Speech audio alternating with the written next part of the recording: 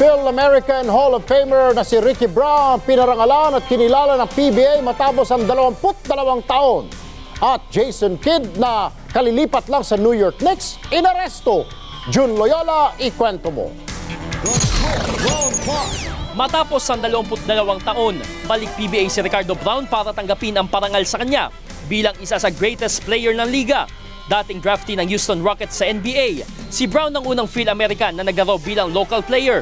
Pinangunahan ng dating PBA Rookie of the Year at MVP ang Great Taste at San Miguel para sa pitong titulo sa PBA.